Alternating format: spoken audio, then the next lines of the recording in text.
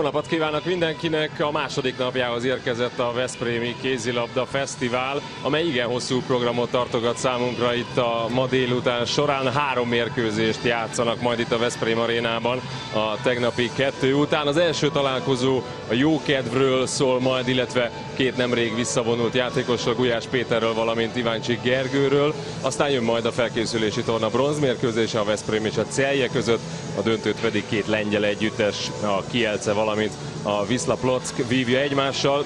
Nem úgy alakult az első nap, ahogy azt a szervezők elképzelték a Veszprém, hogy tegnap vereséget szenvedett a Wisla Plock ellen 7 méteresekkel. Ettől függetlenül azért a klubot természetesen a 40. születésnapja alkalmából ünnepelni fogják, hiszen itt olyan játékosok lépnek pályára hamarosan, akik azért meghatározó szerepet játszottak a Veszprém történetében, és hát Kotormán Attila is jól ismeri őket test közelből, mert hogy mindenkivel, azt hiszem mindenki ellen játszottál valamikor a pályafutásod során, és van akikkel ugye együtt is a válogatottban. Nem tudom, életed legkönnyebb vagy legnehezebb szakkommentátori feladatára készülsz?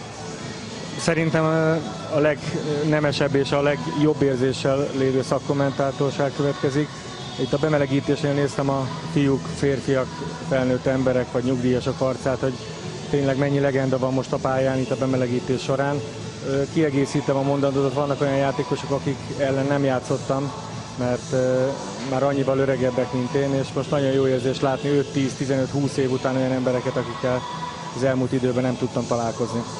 Hát a főszerepben majd természetesen, ahogy azt már említettük, két olyan játékos szerepel, aki az előző idényben még tagja volt a Veszprém csapatának, Gulyás Péter és Iváncsik Gergő. Ők lesznek majd a csapatkapitányok ezen a gála mérkőzésen, és természetesen Korpás Gábor is őket kapta mikrofon végre.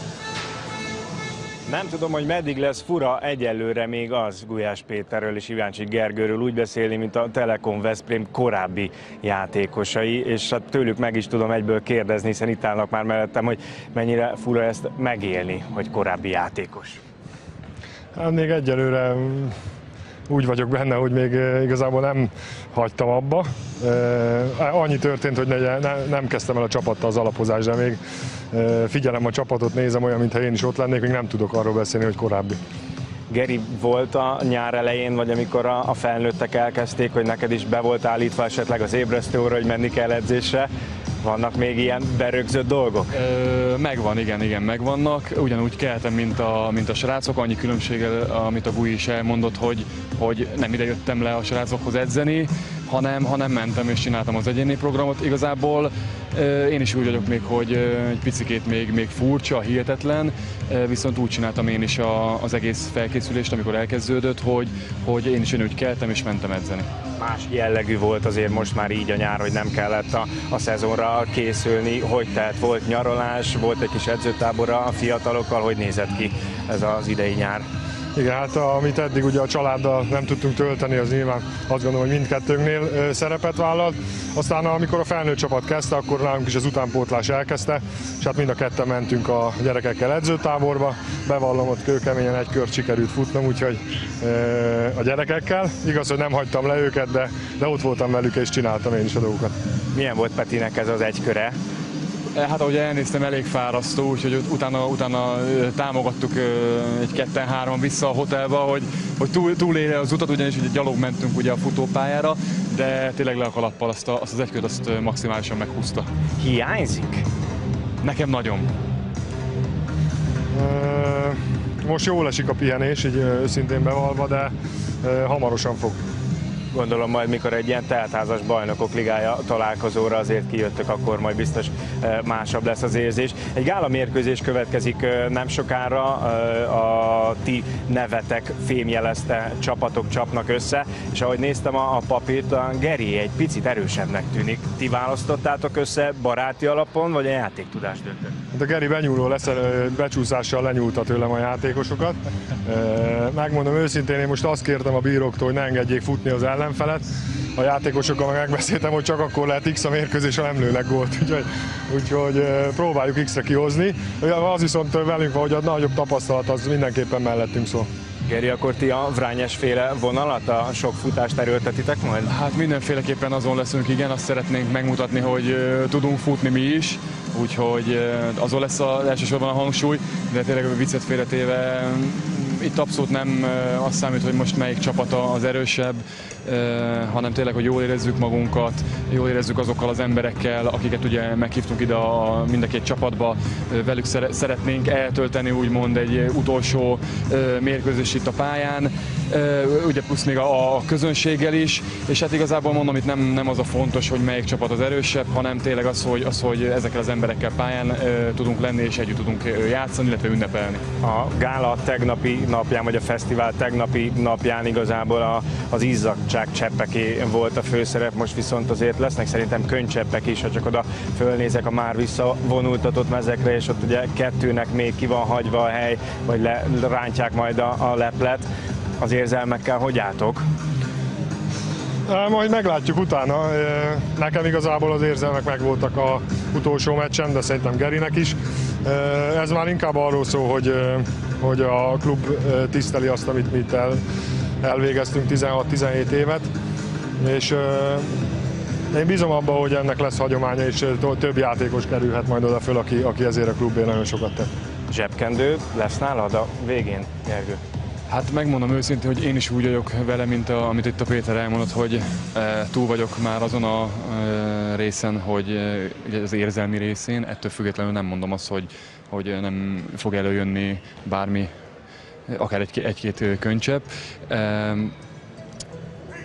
nyilván nem lesz egyszerű, nem lesz könnyű, tényleg a, ahogy fel, felnézünk ide a visszavonultatottaknak a mezére, egy óriási megtiszteltetés számunkra, azt mondom, mondhatom a Péternek a nevében is, hogy, hogy ilyen nagy játékosok mellé oda fog kerülni a mezünk, és amit a Peti is elmondott, hogy én is bízom abban, hogy ennek lesz egy hagyománya. Köszönöm szépen a beszélgetést, Köszönjük. Köszönjük. Hát az övékkel együtt hat visszavonultatott mezlog majd a Veszprém Arena mennyezetén úgy bő egy óra múlva. Elkészen elképesztően gazdag a klub történelme, hogy a legeredményesebb magyar férfi kézilabda csapat a Veszprémi együttes, és hát Attila, te magad is megérezted azért a saját bőrödön tapasztaltad, hogy ellenfélként milyen itt pályára lépni rettenetesen nehéz. Ahogy így visszagondolok, azért az adta az igazi savabolsát a kézlabdának, amikor a legnagyobb ellenfélnél igaz, hogy nem nekem szurkolva, de megfelelő hangulatot teremtettek. A fiúknak, ahogy így hallottam a mondatait, nekem is visszatűnik, amikor én abba hagytam. Igazából egy fél év, egy év kell, amíg az ember agya felfogja, hogy, hogy vége.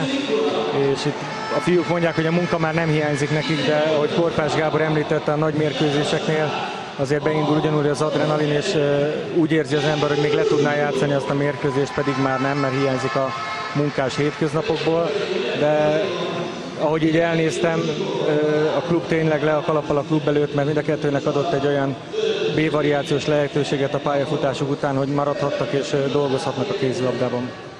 Dolgozhatnak a kézilabdában, de azért még kézilabdázóként is látjuk őket néhány perc múlva, mindjárt jön a gála mérkőzés, maradjanak velünk.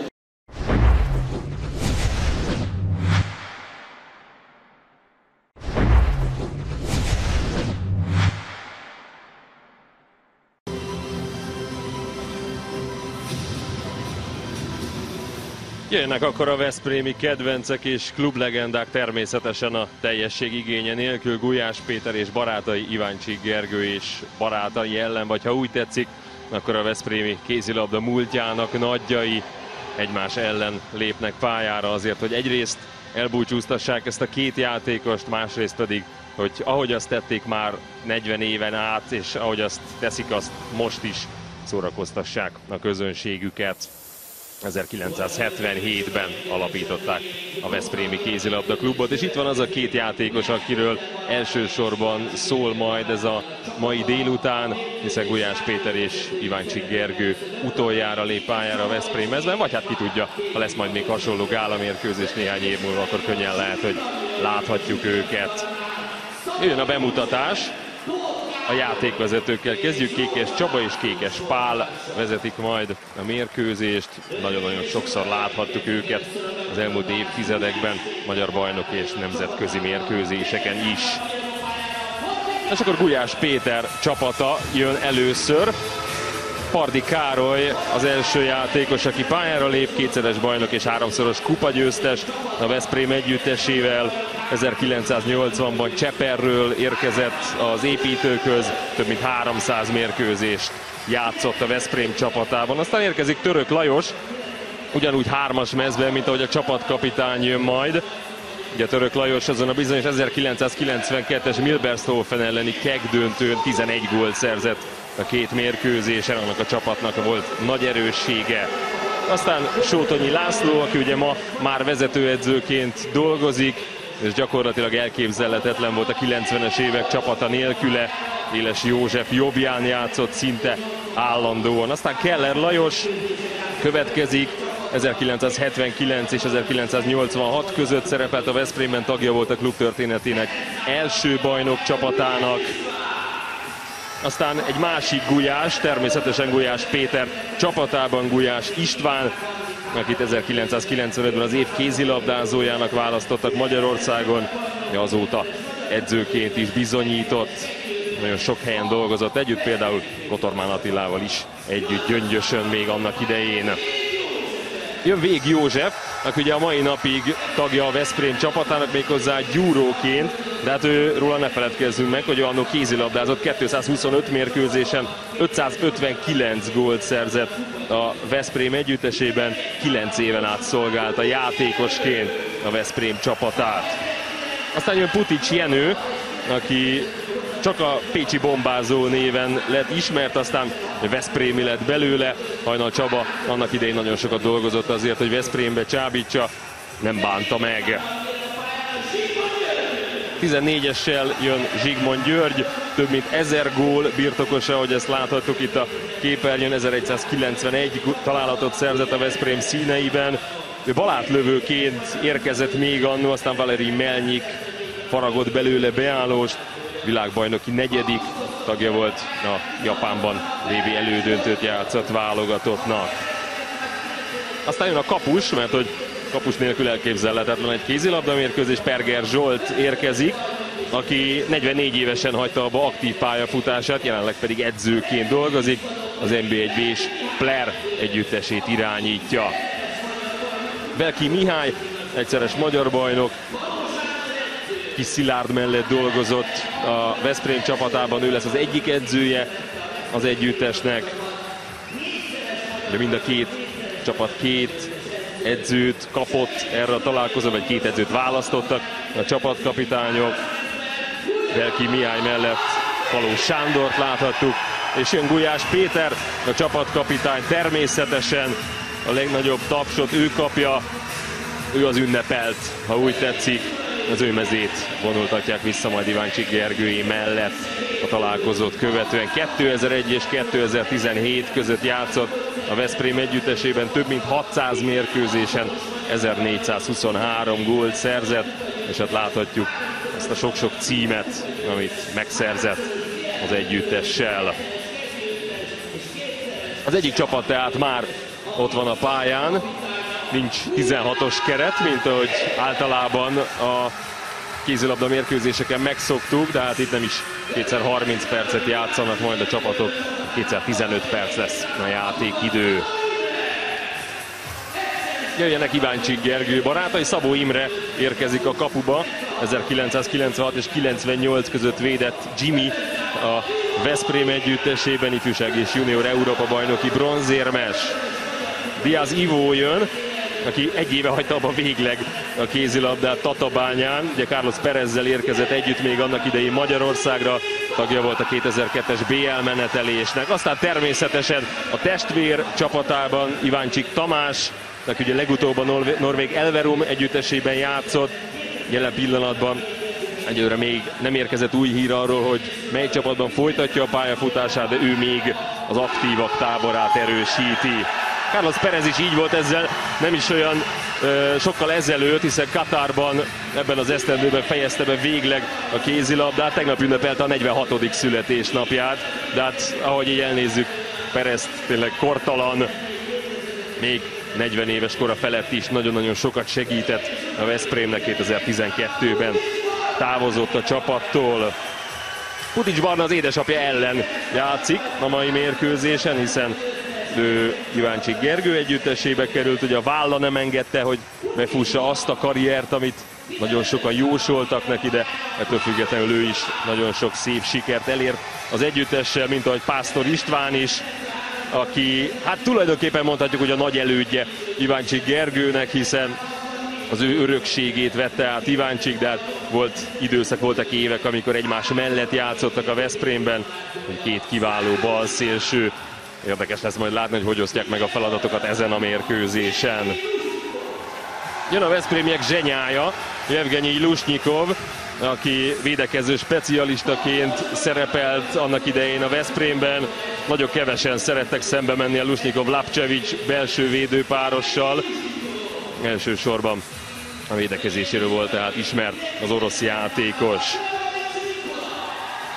Aztán érkezik a jelenlegi sportigazgató, Eklemovics Nikola, neki ugye szintén nemrég hagyta abba az aktív pályafutását. Szerepelt a Viszla Plockban is, de ugye, ami számára érdekes, vagy ami nála érdekes, hogy a Szegedről érkezett, a Szeged csapatától érkezett a Veszprémhez. Zdravko Zovko a csapat edzője és elmaradhatatlan társa, Csonti Rudolf is ott van mellette, aki fordítóként érkezett még annak idején, de hát azért nagyon-nagyon sokat segített ő is annak idején a csapat szereplésében. Most tényleg elmaradhatatlan társa Zdravko Zovkónak, hogyha a Veszprémről van szó. És akkor jön pillanatokon belül a másik ünnepelt Iváncsik Gergő, meg ugye szintén befejezte az aktív kézilabdát. Legutóbb még ott volt a Final Fourban a Bajnokok Ligájában, a csapatban pályára is lépett. Mostantól Gulyás Péterhez hasonlóan a Veszprémi kézilabda utánpótlásában dolgozik majd, ahogy arról már beszéltek is itt a mérkőzést felvezető interjúban. Iváncsik Gergő és Gulyás Péter tehát egymással szemben. Tehát talán életükben először, mondjuk az edzéseken talán előfordult, hogy egymás ellen gyakoroltak, de hogy mérkőzésen pályára lépjenek egymás ellen, arra szerintem nem került sor. Hát biztos, hogy itt nézegettük most a neveket, címeket, győzelmeket, tehát rengeteg emlék volt csak az én fejemben ezekről a játékosokról. Ők gondolom ugyanezt érik meg a pályán, de hogy itt a fehér csapatot elnézegettem, bátran kimerem jelenteni, hogy az NB1-ben nem lennének kiesési gondjai, pedig az átlag életkor szerintem 40 fölött van. Ott valahol, bár Igen. mondjuk Putics Barna meg Iváncsik Gergő azért lehúzza egy kicsit. Nem sokkal, de kicsit, de ahogy kinéznek a fiúk, nagyon jól adnak magukra és karban tartják a testüket. Nagyon-nagyon-nagyon kevés ilyen szintű kézlabdázó született szinte az egész világon, amit most hirtelen 20-25 embert látunk a pályán. Olyan formátumok voltak a kézlabdában, hogy tényleg legendának mondhatjuk őket, és biztos fura lesz most már nem azon a szinten látni őket mozogni, kézlabdázni, ahogy a kedves tévénézők megszokták a tévéből. De hát sajnos az idő rajtuk is fog, nem csak rajtunk. Hát azért vannak, akiknek mindenképpen élmény lesz látni jó néhány játékost, és ide beleértem magamat is, mert hogy azért itt vannak kézilabdázók, akiket én már aktív korukban nem láthattam játszani, de ez is megadatik, és gondolom nagyon sokan így vannak a nézők közül, és itt láthatjuk még egyszer a névsort, Gulyás Péter és barátai elnevezésű csapat névsorát láthattuk, és aztán Iváncsik Gergőjéket is megmutattuk még egyszer. Zdravko Zovko, a 2002-es Bajnokok Ligája döntős Veszprémi csapat vezetőedzője volt. Ezt követően további két Bajnokok Ligája döntőt játszott még a csapat, és akkor még egyszer Kékes Csaba és Kékes Pál. Ők dirigálják majd ezt a mérkőzést, azért vélhetően nem lesz nehéz dolguk. Itt a, ha így legendának szoríthatjuk ezeket a játékosokat, így első hogy nézegetem, talán Csoknyai István, Gál Gyula és Éles József az a három ember, aki az elmúlt 40 év nagyon nagy siker szériáiból jelen volt, és most itt a mai napon nincs itt. Gondolom nem értek rá, de őket is meg kell említeni a véleményem szerint a klub 40 éves történelme alapján ők főszereplők voltak. És akkor kezdődik a gála mérkőzés, kétszer 15 perc tehát. piros mezben Gulyás Péter csapat, a fehér mezben pedig Iváncsik Gergő együttese. Valószínűleg nagyon feszes védekezése nem kell számítani ezen a mérkőzésen, viszont látványos megoldásokra annál inkább. Keller Lajos próbált egy hát mögötti passzal operálni, és aztán Iváncsik Gergő lövését hárított a Szabó Imre, illetve Berger Zsolt, bocsánat. Igen, Perger Zsolt még emlékszik Iváncsi Geri kedvenc lövésére. Ezt a vissza alsót nagyon szerette a Geri. Fura így kimondani múlt időben. Ők is játszottak még egy kicsit együtt, mint Perger és Iváncsik, nem sokat. Nem jó a bejátszás, és lehet gyorsan indulni. Diaz Ivo, na ez az ejtés már megvan. Diaz Ivo szerzi az első gólt a gála mérkőzésen.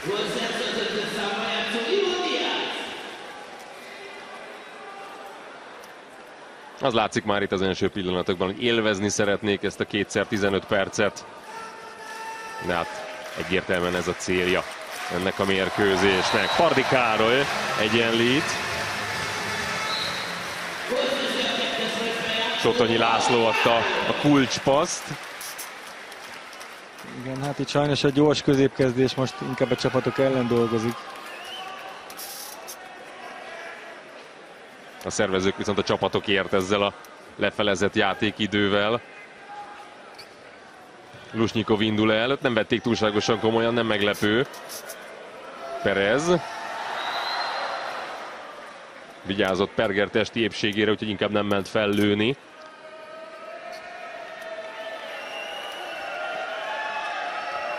Eklemovics. Perez megpróbálta bejátszani a labdát Lusnyikovnak. Neki azért inkább az átlövés volt a specialitása, mosolyog is saját magán. Ezért megkockáztatom, hogy látunk még tőle ezen a mérkőzésen egy nagy felemelkedést és egy lövést. Sotonyi. Hát mögötti passz, erre nem számított Pardi Károly. Iváncsik Gergő viszont elindul, és egy kínai figura után Diaz Ivo a gól szerző megint. Picit talán igazságtalanul osztották el a két csapat között a játékosokat életkor alapján, mert a fehér csapat, ahogy mondtam, talán az NBA-ben is megállná még a helyét. A piros csapat egy, egy korosztályjal öregebb. Igen, erre utalt Gulyás Péter itt az interjúban a mérkőzés előtt. Iván Csigeri okosabb volt a választásnál, de egy picit egyenlőtlené teszi itt a gála mérkőzést is, hogy a fehérek gyakorlatilag sprintelni tudnak kétszer 15 percen keresztül, és a két szélső még szinte aktív. A két kubai pedig örök életükben aktív marad.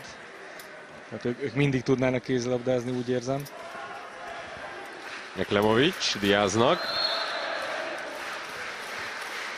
Sótonyi László ismeri el bűnösségét, lábbal ért a labdához. Perez, na ott a felugrás. Hát nem az a hagyományos Perez gól, de gól. Ezért reméljük még bírja a válla.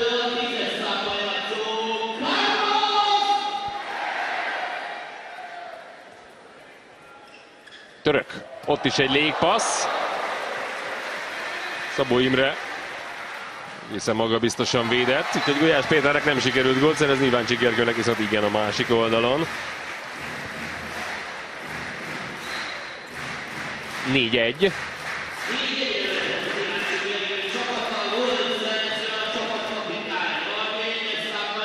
Egyelőre ez az eredmény megfelel az erőviszonyoknak, vagy inkább mondjuk úgy, hogy az életkoroknak. Keller Lajos szépít. Perez.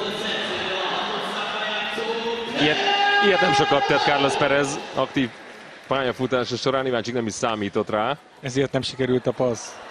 Ebben a helyzetben mindig lőtt. Teklemovics. Iváncsik, na hát a másik oldalra, és a másik Iváncsik szerez gólt. Ők azért ezt néhányszor eladták az aktív pályafutásuk során, vagy legalábbis amikor közösen játszottak ugye Veszprémben meg a válogatottban, mert hogy Iváncsik Tamás ugye még mindig aktív.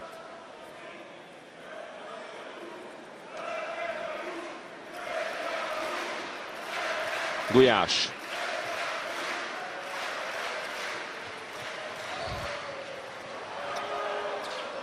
Diaz. Birkózott egy kicsit a labda megszelídítésével. Iváncsik Gergő nem számított rá, hogy visszakapta volna a paszt Iváncsik Tamástól. Eklamovics Nikola lőtt kapura. Ő nagyon vigyáz magára. Látszik, hogy most már csak hobbi szinten űzi valamelyik sportot az életben, mert a kézlabdát nem, de nagyon vigyáz a vállára. Ő volt az észjátékos Veszprémbe, az egyik valahért legjobb irányítója a Veszprémi csapatnak, de látszik most is, hogy inkább a passzosztásban jeleskedett, nem pedig a lövésben. Gulyás István a pályán hetessel. Hát és ugyanez elmondható rá is egy generációval korábbra, mint ami Eklemovics Nikolára. Az akkori éles, sótonyi, gulyás, csoknyai fémel ezt a csapatban, ő volt a, az esze. A csapatnak ő találta ki a figurát, a támadást, és egyben tartotta a csapategységet. Iváncsik Tamást körbenézett, hogy mit lehet itt kitalálni, nem jött senki, úgyhogy kénytelen volt egymaga befejezni. És jó kedvűen elnevetgélnek hátul, hogy senki nem segített neki az indításba, és nem futott vele. Bejön Pásztor István. És Pásztor István a jobb szélre kerül.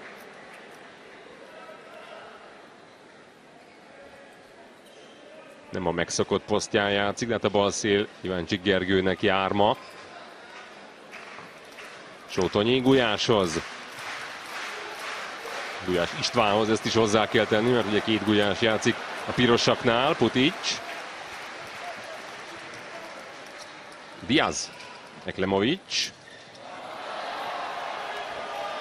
Na és akkor most megy Zsigmond György Zicserben. 7-3. És Zsigmond Gyuri, ahogy fénykorában nem futott vissza, így le sem maradt. Most is éppen ott sétálgat és várja, hogy hát ha indítást lesz és megkaphatja. Próbál labdát halászni. Igen. És hogy a statisztikákat olvastam, szinte a legtöbb gólt ő lőtte mérkőzésenként.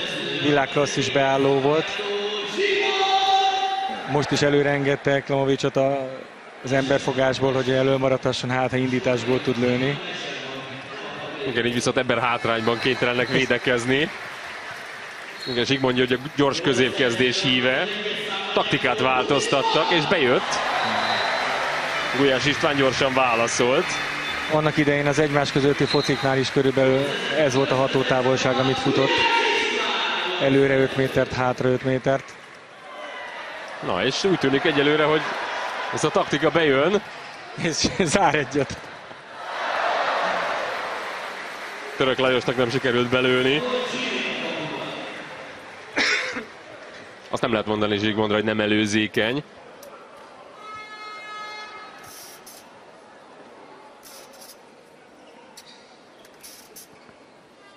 Diaz. Putics Barna, Lusnyikov. Diaz futott vissza. Igen, de hát hihetetlen Ivo Diaz egy ilyen mérkőzésen is az első, aki visszasprintel. Igen, ahogy ezt mondtad is, az aktív pályafutás befejezése után azért a test még sportol egy kicsit, vagy sportolna. Diázban is ott van még a küzdőszellem, illetve az igény a mozgásra. És az a probléma ilyen játékosoknál, mint például a Pásztor Pista vagy az Ivo Diaz, hogy gyakorlatilag még tudna játszani, de a kor alapján valami újba kellene kezdenie. Tehát egy másik karriert kéne építeni, és ezért nehéz, mert itt látszik, ahogy sprintel, ugyanígy a Siváris Pásztor Pista, hogy olyan nagy tudásuk van és olyan szerencsés genetikájuk, hogy játszhatnának még mindig valamilyen NB1, NB1B szinten, de akkor az edzői karrierjük már olyan csorbát szenved, hogy nem tudnak felépíteni magukat. Úgyhogy csak ezért hagyták abba, nem azért, mert az élet kényszerítette őket rá. Gulyás István szerzett újra gólt, 8-5. Kicsit szorosabb lett a mérkőzés. És akkor van egy ellenpólus is, Putics Barna. aki szerintem a legjobb kézzel rendelkezett a korosztályába. Annyira erős, gyönyörű, pontos, jó lövéseket lőtt, és fájdalom többször megsérült a válla, mert soha nem lehetett a régi, és nem tudta befutni azt a karriert, amit megjósoltak neki. Úgyhogy neki pedig ezt kell feldolgoznia, hogy sokkal többet megkaphatott volna az életében kézlabdától ebben a szakaszban, de lehet, hogy a privát élete, amit most épít, az visszaadja azt a boldogságot, amit a kézlabda pályán nem tudott befutni. Sotonyi László lecsücsül Pardi Károly mellé. Jóleső elégedett mosolyjal az arcán. Gulyás Péter gólt szerez, na most már csak összejött neki is.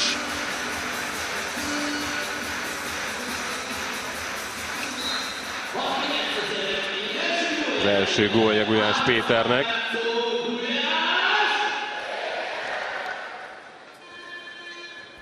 A lövő hatékonysága nem az igazi, de ez itt most belefér, senki nem fogja számon kérni rajta.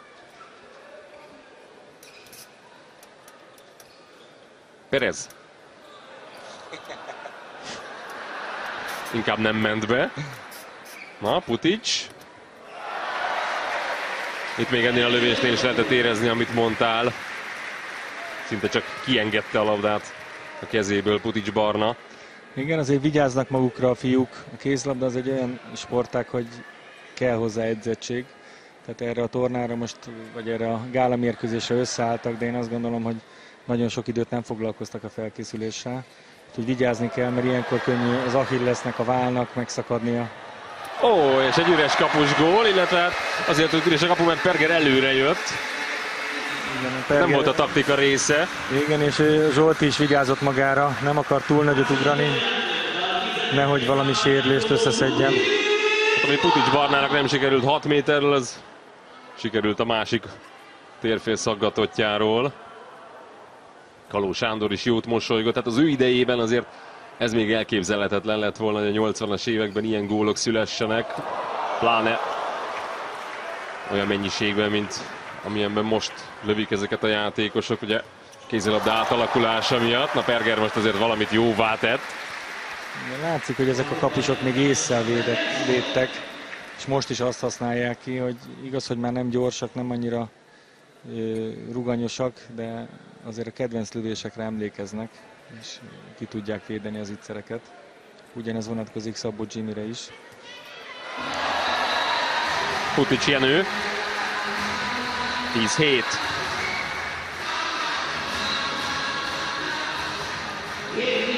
Saját elmondása szerint Hajnal Csaba klub első ember egy teherautóval utazott le érte még annó Pécsre és költöztette Veszprémbe a 80-as években.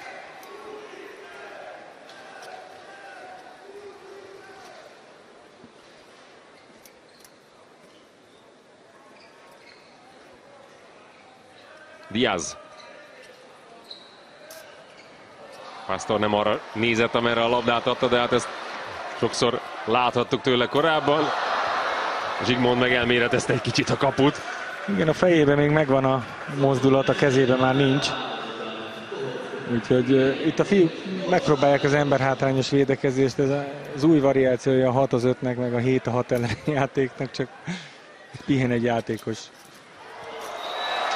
Kicsit leért már Perez. Ez még egy gála mérkőzésen sem érvényes gól.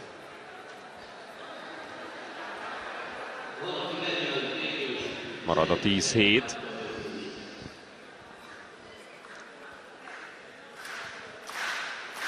Beül vagyunk közben az utolsó percen, az első félidőben repül az idő.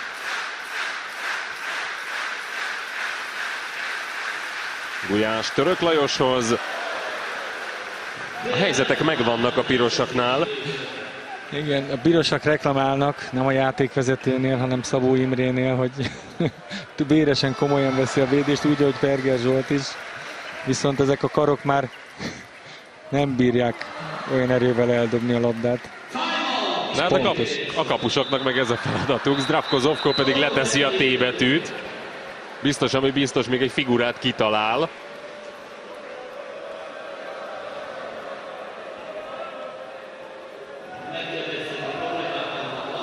Na hallgassuk a híres Drovko, Zovszko féle időkérést. Kínai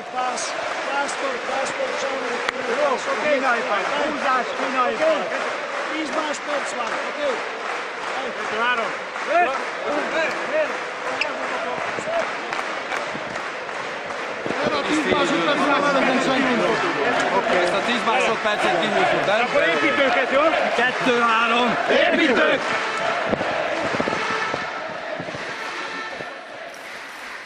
Zdravko Zovko úgy mondta el a figurát, amit elvár a fehér csapattól, mint hogyha tíz évvel ezelőtt lennénk.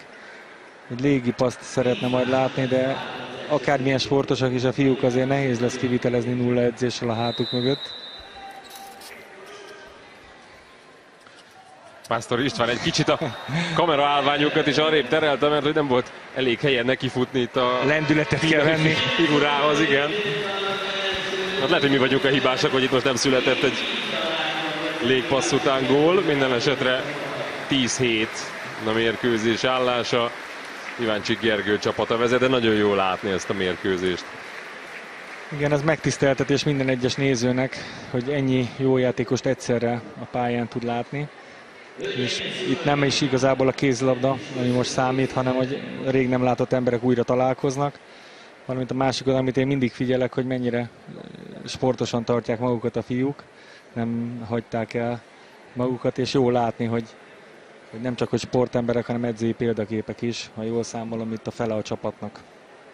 Igen, nagyon sokan edzőként is dolgoznak közülük, de még játékosként is láthatjuk őket a második félidőben. 15 perces a gála mérkőzés szünete, hogy tudjanak szusszanni a játékosok, úgyhogy ha ez letelik, akkor jövünk vissza ide a Veszprém arénába.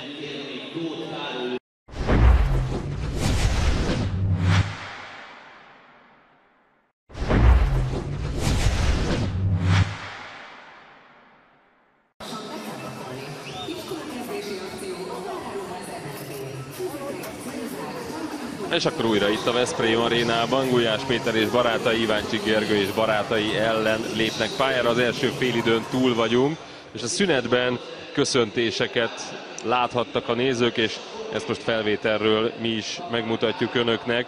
Tóth Károly, a Veszprém megyei szövetség emlékbizottságának vezetője köszöntötte Gulyás Pétert és Iváncsik Gergőt a sikeres karrierjük elismeréséül. A közönség pedig felállva tapsolta a két visszavonuló játékost. Azt hiszem, hogy hasonló pillanatokban lesz még részük ezeknek a kézilabdázóknak itt a mai nap folyamán, elsősorban akkor, amikor leleplezik majd a mezüket a Veszprém Arena mennyezetén, mert hogy a hármas és a négyes mezt is visszavonultatja a klub. De természetesen, aki csak tudja valamilyen formában megköszöni Gulyás Péternek és Iváncsik Gergőnek azt, amit tett ezért a klubért, nem kevés, azt hiszem, amit ők hozzátettek a klub történelméhez. Igen, és azért is fontos az a két nagyszerű sportember a klub számára, mert 16 év alatt azért voltak nagyon-nagyon jó megkeresései mindkét játékosnak tudomásom szerint.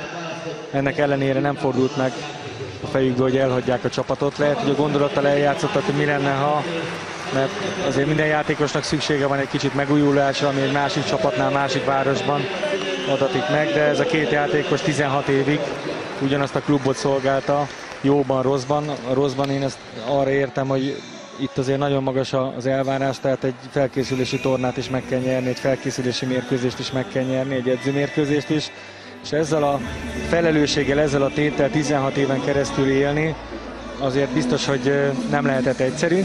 Mégis maradtak itt, és klublegendává váltak, bevonultak a kézlabda történelembe Veszprém megyébe.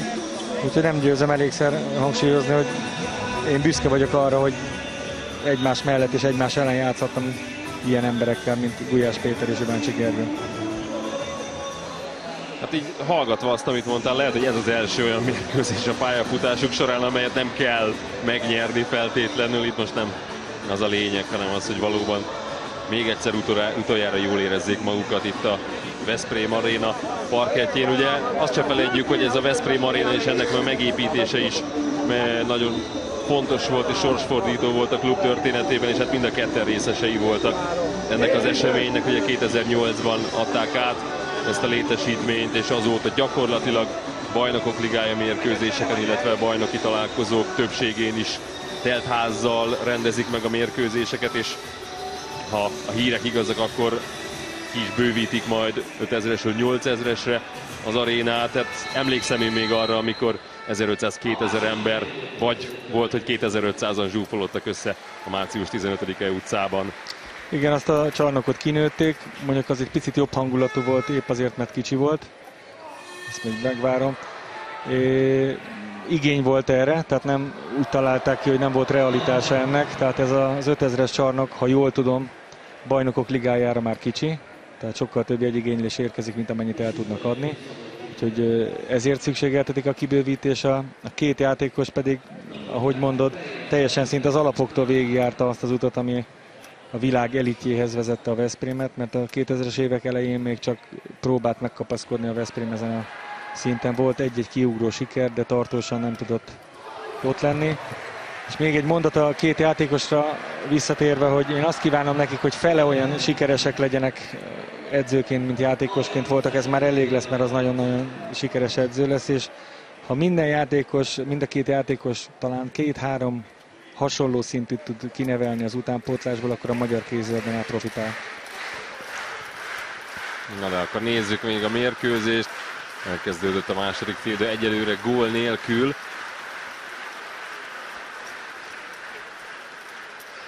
Hát ugye természetesen még visszakapcsolódva Attila gondolatára, miközben Gulyás Péter szerez labdát, és megjátsza névrokonát Gulyás Istvánt.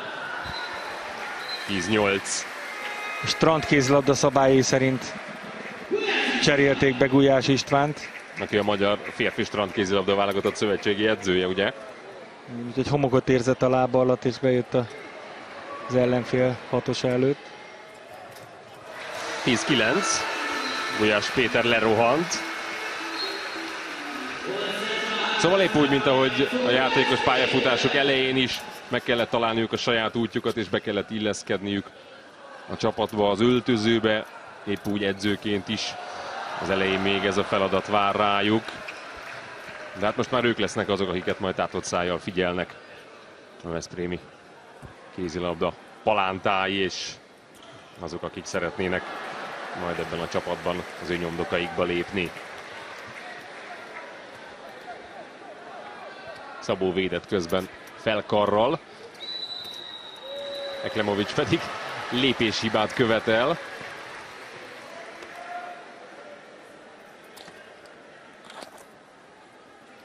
Kaló Sándor a képen. Az első Veszprémi bajnok csapat edzője volt ő. Játékosként pedig a Tatabányával volt háromszoros bajnok. Balkezes jobb átlövő ikon, ő is.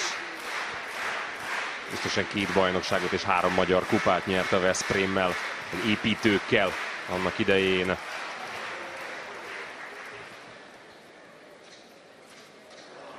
Putic Jenő kapott közben egy labdát. Ez be kellett volna fújni hetesre, szerintem. Megérdemelte volna Jenő. Viszont a másik oldalon Iváncsi Gergő eltalálja a kapufát. Hát így akart passzolni testvérének. Pásztoristán pedig megszerzi az Iváncsik csapat első gólját itt a második félidőben.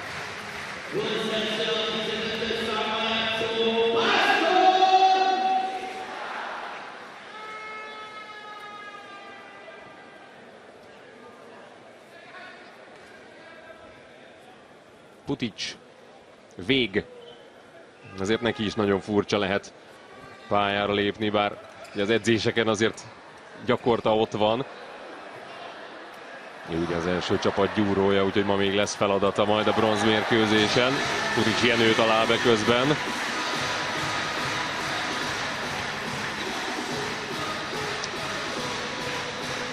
Cserét kért Putic, megkapja, jön Gulyás István a helyére. Putic jól végezte a dolgát, gólt szerzett. Zsigmond György most megkérdezhető, hogy lépéshibát mutattál, vagy pedig cserét kértél, nem volt elsőre egyértelmű. Magát azért csak nem árulja el. Fénykorában Putic Jenőről mesélték azt a sztorit, hogy egyszer egy edzője kritizálta, hogy talán helyzet nélkül lőtte egy labdát, és vitatkoztak azon, hogy mi a helyzet, mire ő felfortyant, hogy akkor van helyzet, ha nálam van a labda. Hát ezt évekig hallgattuk gyerekkorunkban.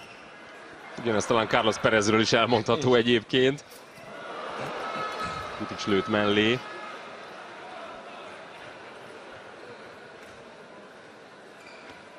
Én csak arra emlékszem, ugye hosszú-hosszú éveken át, amíg készítettük a kézilabda bajnokok ligája magazint még itt a Digisporton, hogy hányszor emlegetted, hogy Carlos Perez volt az a játékos, aki miatt azért jó néhány bajnoki címmel kevesebb van a Igen. szekrényedben. Valamint kupagyőzelemmel is. Ilyen szintű egyéniségek, mint Carlos Perez, azért 50-100 évente születnek. Ilyen adottságokkal 46. életévében még gyakorlatilag akármit meg tud csinálni a kézlabdával. Nagyon ritka, és emberileg is egy nagyon kitűnő ember, úgyhogy ritkán adatik meg, amikor ennyi jó tulajdonság egy emberben összpontosul. Közben megállt a mérkőzés, ennek pedig az az oka, hogy érkezik Iváncsik Mihály a pályára, és érkezik Iváncsik Ádám is. Sporttörténelmi pillanat Iváncsik Gergő számára egy meglepetés a szervezők részéről. Igen, A négy Iváncsik egy csapatban. És ezt is sokszor hallottuk, hogy apának és a fiúknak az volt egyszer az álmuk, hogy mind a négy Iváncsik egyszer együtt a pályán legyen egy csapatban. Megadatik a végére. Igen, kiráz a hideg, hogyha belegondolok, hogy milyen család.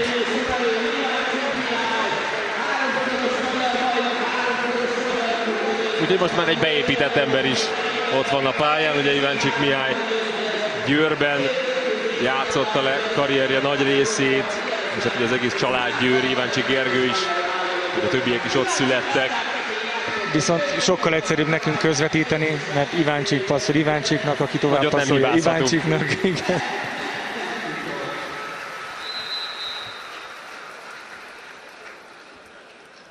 Na hát, Iváncsik, Iváncsik, Pásztor. Diaz, Iváncsik, Iváncsik. És Pásztor Diaz úgy döntött, hogy nem passzolnak nekik.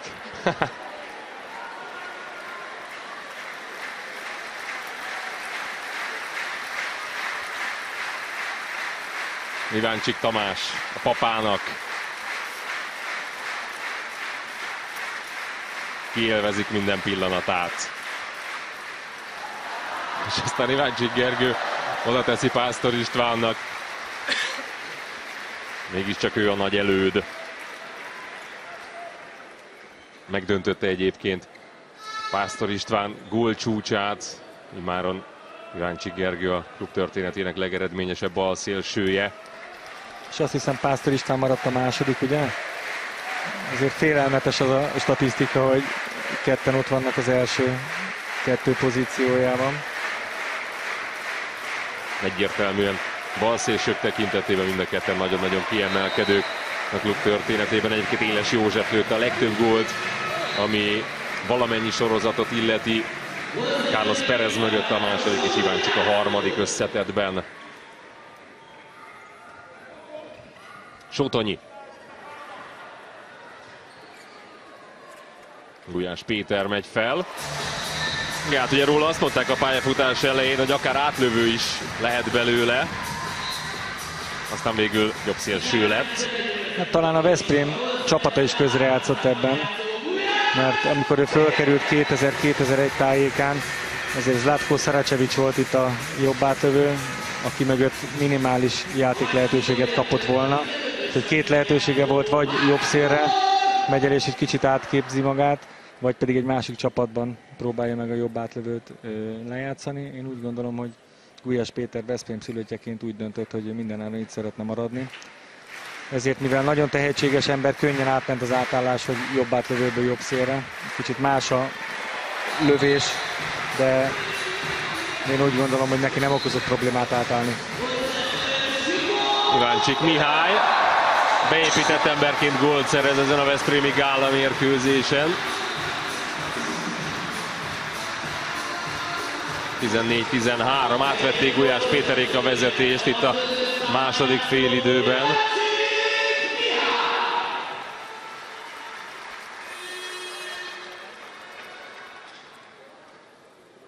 Szabó Imre kapusnak szóltak az első félidőben, hogy ne vegye annyira komolyan, hát a másodikban egyelőre még a labdával nagyon nem találkozott.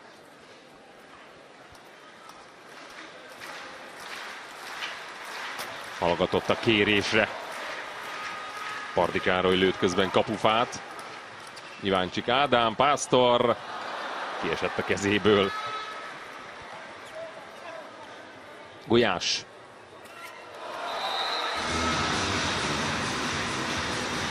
Azt mondta Gulyás Péter, hogy jó nekik a döntetlen. Kettővel vezetnek, már csak egyel.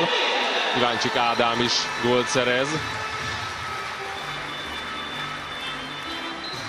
Győr, Tatabánya, Pécs, Eger, Sziget, Szent Miklós, Iváncsik Ádám állomás helyei.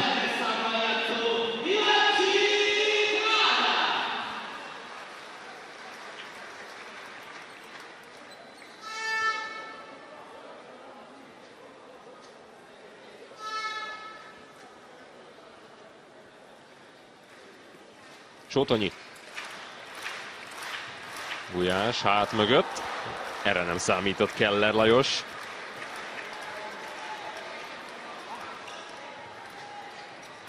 Erre meg Perger Zsolt. Kíváncsi Gergő átkeveredett a másik oldalra. 15-15.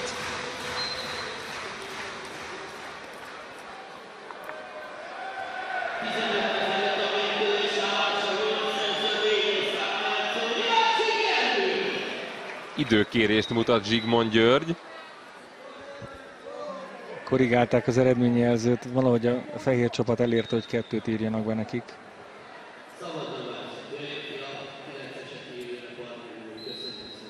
Zsigmond György azonnal kiszúrta.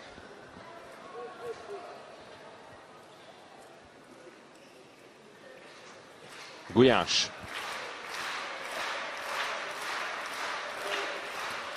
És Gulyás István ezt most végigvitte.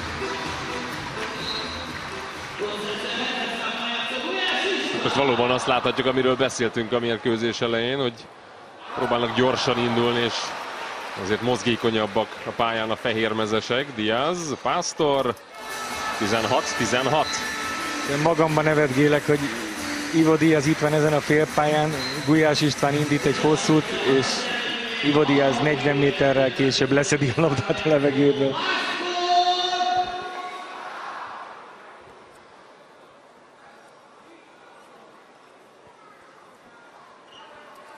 Négy perc van még hátra a gála mérkőzésből. Keller megjátsza Pardit. Mintha csak ugrottunk volna az időben vissza. Több mint három évtizedet. 1985-ben szerezte a Veszprém az első bajnoki címét. Gulyás István, Vég József, Keller Lajos és Pardi Kára is tagja volt annak a csapatnak a most pályán lévők közül. És hát persze Kaló Sándor volt ugye akkor a csapat edzője.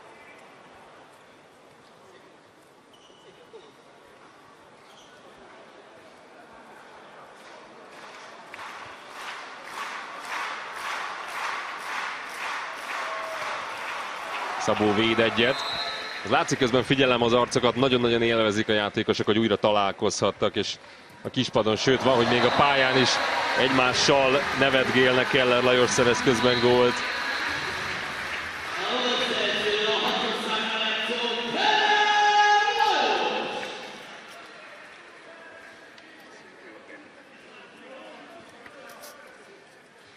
Iváncsik ejt.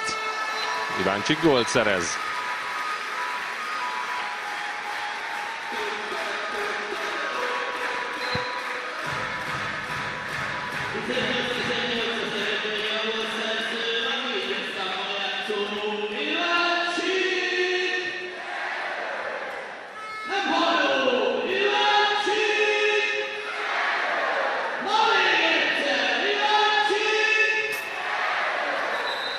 Helyi műsor közben jól megünnepeltette Iváncsik Gergőt, most ugyanezt megteheti majd Gulyás Péterrel is.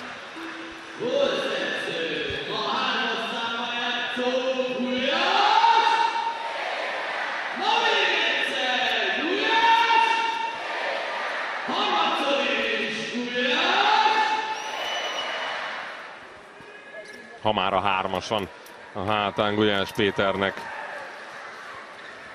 Török. És Carlos Perez került a kapuba. Látod már így lebontani? Ezt is tudja. Teljesen meglep. Szerintem elkezdhetne kapusként játszani. Megünneplik őt is. A 7 méterest még nem védett szerintem Perez. Maximum edzésen. Török Lajos lövi. Ó, és elakadt, ez nem gól. Nem tudott róla Perez, de védett. nem tudott róla.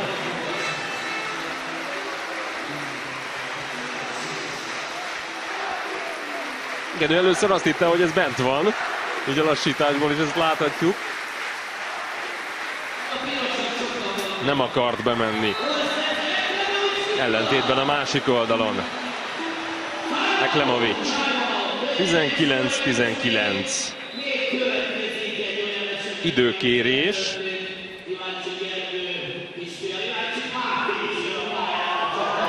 Iváncsik Máté érkezik. Ez így most már három generációs játék lesz. Iváncsik Gergő kisfia. Igen, már csak egy játékos, egy Iváncsik kellett volna, nem gondolták végig, és lehetne egy csapat. Iváncsik Milán ott van még. Iváncsik Gergő ugye másik kisfia. Hát ő azért még kisebb. Megérkezett tehát Máté is. Amúgy ez egy olyan időkérés, amely futóórával megy, ugye letelik a 15 perc, előttünk az eredményjelzőn azt láthatjuk. Meg is szólalt a Duda.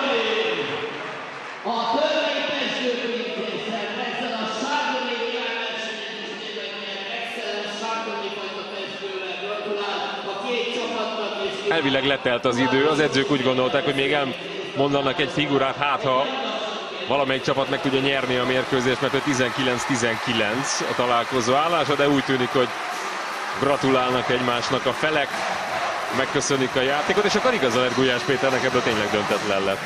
Igen, ha ez a Meglepő módon. Igen, tipmixen lett volna, akkor én is megjátszom ezt a döntetlent. Borítékolható volt, de tényleg államérkezés a végén. A Pesgők is pályára kerültek, és két elégedett csapat fejezte be a mérkőzést. Igen, Máté azért lőtt még egy gólt a végére. És úgy látom, hogy megjött Milán is. Iváncsik Gergő, másik kisfia is ott van a pályán.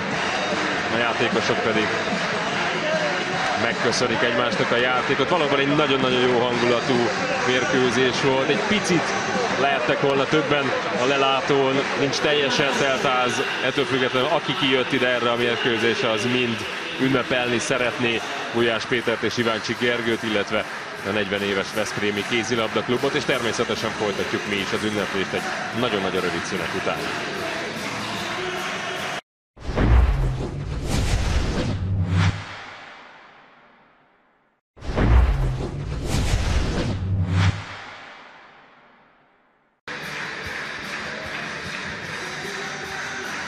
Azt nem mondom, hogy folyik a pesgő a pálya közepén, hiszen a talajra azért vigyázni kell, mert hogy lesz itt még két mérkőzés, két felkészülési mérkőzés, egy Veszprém Celje és egy Kielce Viszlaploc a mai nap folyamán a Veszprém arénában, de azért itt szolidan pesgőznek a játékosok, ünneplik, azt, hogy együtt vannak és ünneplik a 40 éves Veszprémi férfi kézilabda klubot, amely egészen egyedülálló sikereket mondhat magáénak, hiszen az 1981-es feljutása óta mindig a dobogón végzett az NB1-ben. Ez már azt hiszem, hogy önmagában páratlan. És hát azért, hogyha a nemzetközi kupa sikereket nézzük, ugye két keggyőzelem 1992-ben a német Milbershofen ellen, 2008-ban az ugyancsak német Rhein-Neckar Löwen ellen, de volt ezen kívül két elveszített kegdöntője is a klubnak, és hát ott van három bajnokok ligája döntő 2002-ben, 2015-ben és 16-ban.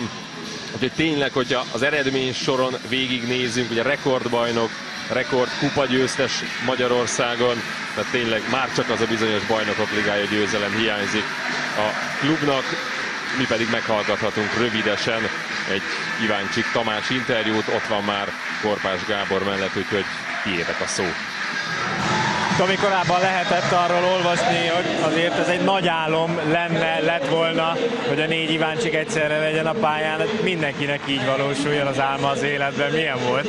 Hát jó érzés volt, de szerintem most láttátok először is utoljára, ugye hát a Gergő visszavonult, de hát lehet hallani, hogy köszönöm a, ennyi embernek, hogy kijöttek, elbúcsúztatták őket, és hát egy óriási élmény volt ezekkel a játékosokkal együtt játszani. Talán te egy picit be tudtál pillantani az elmúlt napokba készült erre. Gergő volt rajta érződött némi feszültség?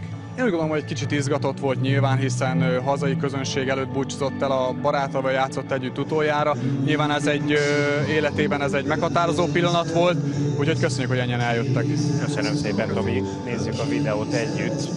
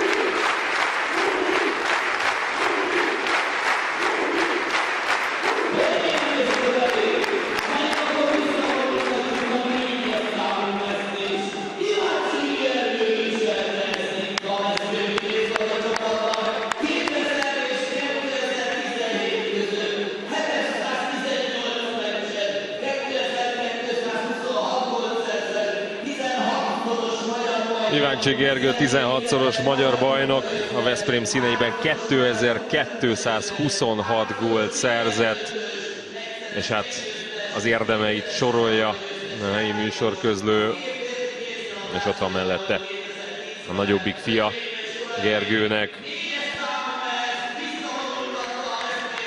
És akkor a négyes számú mez visszavonultatva ezt a számot nem viselheti senki a hátán innentől kezdve a Veszprémi kézilabda csapatban.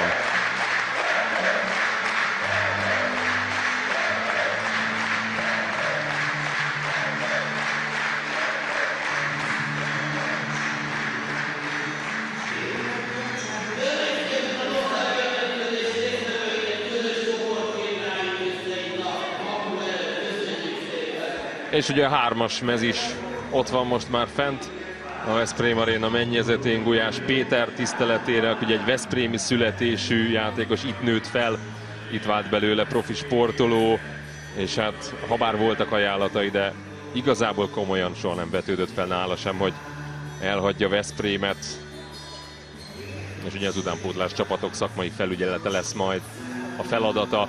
Olyás Péternek és Iváncsik Gergő is az utánpótlásban dolgozik majd a továbbiakban a Veszprémi együttesnél. Hát talán tényleg azt az egyet fájlalhatják egy icipicit ott a szívükben, hogy az a Fránya bajnokok ligája trófea az, az nem jött össze, és, és hogyha a Veszprémnek megadatik, hogy egyszer bajnokok ligája győztes lesz, akkor annak ők már nem lehetnek a részesei. Igen, de egy kis idő elteltével azért megszépül minden. Én azt gondolom, hogy az átlagemberhez képest annyira sokat kaptak ettől az Egyesülettől, a kézlabdától, a sportáktól, az élettől, hogy lehet, hogy most még fáj, de egy-két év múlva már úgy tekintenek rá, hogy mindent azért nem kaphattak meg ők sem. És ha egy picit egy kis szakmát beleteszünk, én azt gondolom, hogy évre évre nehezebb lesz ezt a bajnokok ligáját megszerezni. Minden csapat erősödik, és nagyon nehéz megnyerni. Nem véletlen, hogy eddig még egyszer sem sikerült magyar kézlabda csapatnak. Most a 86-os Honvédot azt azért nem sorolom ide, mert ott más voltak csapatok, akik nem indultak, de akkor is, hogyha őket beleveszünk, akkor egyetlen egy BL győztes csapatunk van, úgyhogy az rendkívül nehéz, de én azt gondolom, hogy itt hallgatva, hogy mennyi mindent nyertek meg, hát ez szerintem tíz ember életre elég lenne. Igen, hát az eredmények önmagukért beszélnek, de Gulyás Péter most mindjárt Korpás Gábornak az érzéseiről beszél, azt hiszem. Peti, azt szokták nekünk mondani, hogy nem szerencsés olyat kérdezni, hogy hogy érzed magad, mit érzel most. Mégis ezt teszem. Hogy érzed magad, mit érzel most? Fáradt vagyok, megmondom az őszintét nagyon. Hosszú volt ez a fél óra. Nagyon szépen köszönöm a klubnak ezt a gesztust, amit felém tett. Megmondom őszintén, hogy amikor elkezdtem a pályafutásomat, akkor egy vágyam volt, hogy itt valahogy így fejezzem be. Most pedig ez az álom ez valóra vált, úgyhogy nagyon nagy köszönöm, nagyon szépen köszönöm. Senki nem fogja most már a piros, fehér vagy fekete hármast magára ölteni innentől kezdve a, a klubnál. Mi a legemlékezetesebb? Hát most jelenleg az, hogy ott lehet a nevem fönn. Ez a 17 év, gyönyörű emlékek, és nagyon sok győztes meccs. Mindenképpen az életem legszebb része, de ezt már mondtam korábban is. És még egyszer a köszönet az, hogy a klub így gondolkodik rólam, ez nagyon megtisztelő. Mi fog a legjobban hiányozni, mert azért ilyenkor gondolom ezt is végig gondolja az ember, hogy mi az, ami veszít, vagy mi az, ami egy picit elmúlt. Hát a csapat hangulat az biztos, az öltözői hangulat az, az mindenképpen. Azok a viccek, amiket ugye csak az öltözőben van, és nyilvánvalóan ez a közönség, amit Veszprémben van, láthattátok, hogy mennyire szeretnek minket, én, én is nagyon szeretem őket, úgyhogy magammal viszem egy életet.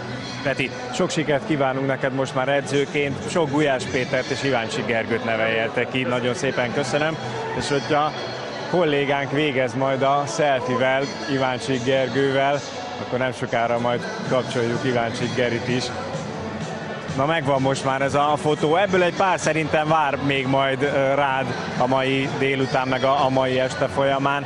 De azt hiszem, hogy ez mindig is édes teher volt, például a szurkolókkal fotózkodni. Én ezt élvezem, ezt nem lehet megunni. Nagyon-nagyon jó érzés, amikor, a, amikor megállítanak a, akár itt a csarba, akár az utcán, és, és akarnak tudni egy-két információt, vagy, vagy, vagy tényleg bármi mást. Én nagyon szeretek a, a szurkolókkal beszélgetni, szeretek a felnőtt emberekkel, a gyerekekkel, ugyanúgy egyaránt, úgyhogy ez egy nagyon jó érzés. Ráadásul mindig nyitott is voltál ezekre a, a kérdésekre, ezekre a, a párbeszédekre, és szerintem ezért is fogsz majd nagyon hiányozni a Veszprémi szurkolóknak. Na de neked mi fog hiányozni, és itt elsősorban már a, a sportszakmai dolgokról beszélek. Peti azt említette, hogy az öltöző, az öltözői hangulat, a csapattársa. Hát most így ezzel így el is kezdted a, a a sort. Tényleg ezek után hiányozni fog ez a, ez a közeg, hiányozni fog a csapat, hiányozni fog nyilván az eltöltött idők, hiányozni fog ez a hangulat, a, a közönség, hiányozni fog az, amikor utazunk a csapattal külföldre, oda elkísérnek minket a, a szurkolók. Ezt így elmondva tényleg nagyon-nagyon hosszú lenne felsorolni, meg, meg így, így nem is nagyon tudja átadni az ember szerintem így kívülállónak. Ott kell lenni, ezt át kell érezni. Ezek, ezek olyan szép dolgok, olyan szép emlékek, hogy, hogy erre nagyon-nagyon jó lesz visszaemlékezni. Eri, mit adott ez a, ez a 17 év? Hogyan tekintesz erre vissza? Volt már, hogy így volt időd végig pörgetni? Hogy akkor mi is történt veled az elmúlt majdnem 20 évben? Sokat gondolkodtam rajta, teljesen nem jutottam a, a végére, hogy, hogy úgy igazán mit is, mit is adhatott. Olyan borzasztó sok mindent köszönhetek én ennek a klubnak, ennek a városnak, a szurkolóknak, az embereknek, hogy, hogy szintén azt tudom mondani, hogy egyszerűen lehet, hogy egy hét lenne felsorolni.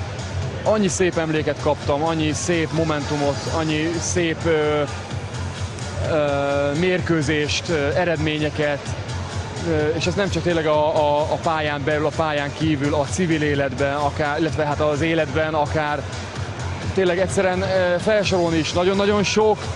Én nagyon-nagyon bízom benne, hogy ehhez, hogy itt egy korszak részemről lezárult, én azért nagyon-nagyon bízom benne, hogy fogok még tudni azért hozzátenni. Nagyon szépen köszönöm. Józsi, ti jöttök. Nagyon sok sikert kívánunk ehhez természetesen Iváncsi Gergőnek és Gulyás Péternek, és nekem egy gondolat jutott még eszembe, hogy ez a két játékos ugyanezt a köszöntést és ugyanezt a búcsúztatást átélhette néhány hónappal ezelőtt a Paplászló Budapest sportarénában is, amikor a magyar válogatottól búcsúztatták el őket, és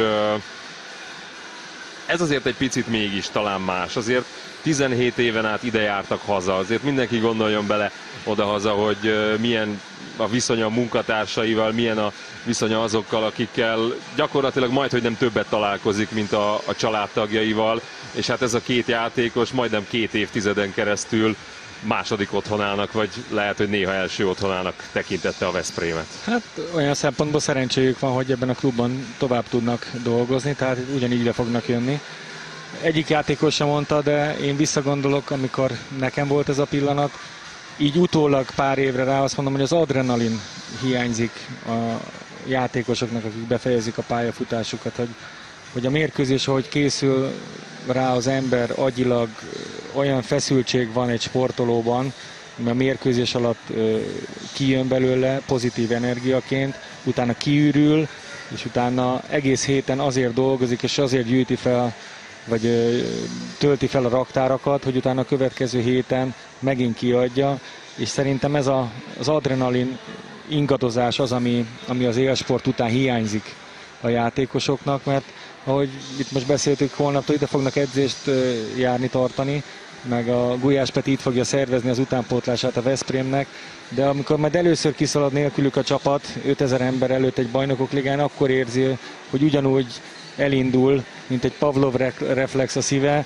és ugyanúgy megy az adrenalin, adrenalin, de ő már nem fog hozzátenni, és akkor fog rájönni, hogy na ennyi változott, hogy ugyanoda járok, de, de most már nem tudok olyan feszültséggel gondolni egy-egy mérkőzésre, szívesen beállna, de már nem lehet.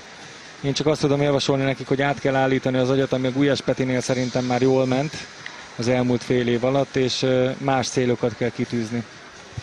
Minden esetre mi nagyon sok sikert kívánunk, tehát még egyszer mind a két játékosnak, és folytatjuk nem sokára a Veszprémi Kézilabda Fesztivállal, hiszen két mérkőzés még vár ránk a mai napon, 15 óra 30 perctől e, kezdődik majd a mérkőzés, 15 óra 15 perctől a felvezetésünk a Telekom Veszprém Celje találkozóra, ez lesz majd a bronz találkozó, és aztán este 6 órától Kielce Viszla Plock döntő, úgyhogy ha van kedvük még egy kis kézilabdához, vagy sok kézilabdához, akkor tartsanak velünk a nap további részében, és egyelőre köszönjük szépen a figyelmüket.